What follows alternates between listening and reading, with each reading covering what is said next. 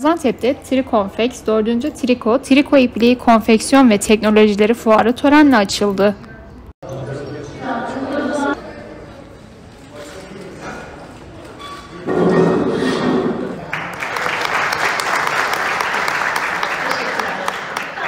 Ülkemiz güçlü, ülkemiz büyük. Allah'ın izniyle muhteşem potansiyelimiz var. Ülke ve millet olarak, devlet olarak. Ve bu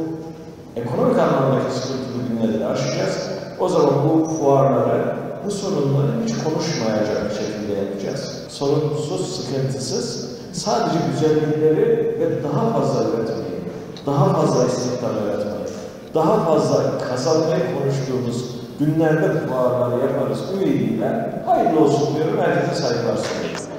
Allah hayır etsin. Allah hayır etsin.